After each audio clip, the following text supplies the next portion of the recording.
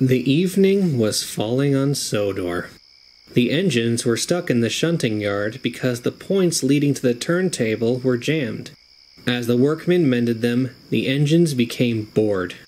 They all wanted to rest in their nice warm sheds. To pass the time, they began to talk about the upcoming Halloween celebrations.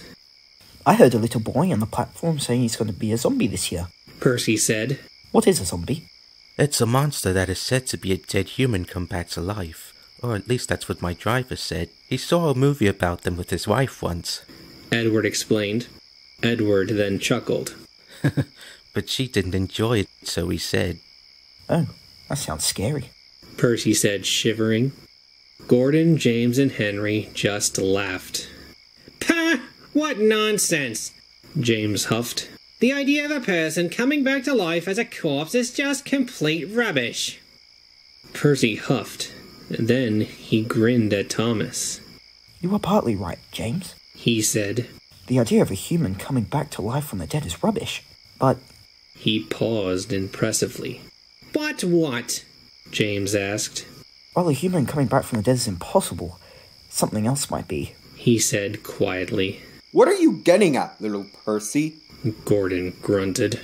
Well, Said Percy. before I came to Sodor, I met an engine who came into the workshop where the first Fat Controller met me. He told me a tale about a railway far, far away from here. This railway was a small branch that served some farms and a large iron ore mine. The controller of this railway wasn't very kind like the Fat Controller. In fact, he was very cruel and greedy. He hardly ever spent any money on maintaining the engines and had poured his money into his own pockets. The engines were always in pain when they worked. The drivers, firemen, and mine employees felt sorry for the engine's pain. They lodged their complaints with the controller, but he didn't care. Soon, the farms and mines began to use the roads instead, using horse and cart instead of the rail line. Unless the controller did something, he finally caved and promised that he would find a solution. And he did. Percy paused and gave a shudder. The three big engines stared in shock. What did he do? Henry asked. One night, one of the engines, number 3242, was asked to stay at a special shed that the controller had reserved for him. The engine who told me the story said he woke up in the middle of the night to hear the other engine crying in pain. A light inside the shed flickered, and the scream suddenly stopped. After a few moments, the light went out and the shed doors opened. He closed his eyes to pretend he was asleep. As he heard the footsteps crunching away on the ballast, he opened an eye and saw the controller walking back to his office. The engine went back to sleep, thinking it was just some dream. Percy paused, shuddering again. Oh, how wrong was he? The three big engines stared in horror, enthralled by the story.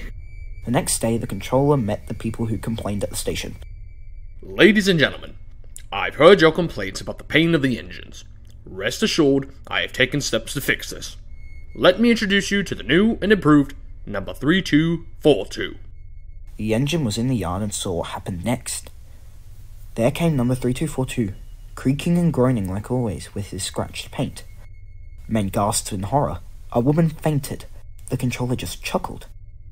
Where the engine's face used to be was now nothing but a smokebox door. I've taken care of 3242's pain. He won't complain anymore. He could still be He said. really useful. The big engines gasped in shock. The idea that an engine, once living and breathing, was rendered dead, yet still forced to work on like. like. Uh, z- z- z- zombie engine, James said, quivering. The controller didn't stop there. Ventured Percy. He kept going, doing whatever horrible thing he did to render an engine like 3242. The engine's crews refused to drive their engines after this, but they were replaced with new crews. People called him a murderer, but he didn't care. I am the controller, and engines are best seen and not heard. Was all he said. What, what, what about the engine who told you the story? Gordon gasped. His crew saved him. One night, the engine crew fired him up, and they left the railway. They didn't know where they would go, or what they would do. But working anywhere was better than working on that railway. Better than working among the living dead. There was silence in the yard. Just then, a workman came walking up. The points are fixed. You can get back to the sheds now. He said. The three big engines took off quickly. Edward remained behind. He looked at Percy and chuckled once they were out of earshot. Do you think we should tell him about the faceless engines? He asked. Maybe some other time. After Halloween. Percy said cheekily. And the three engines puffed off to join the others in the shed.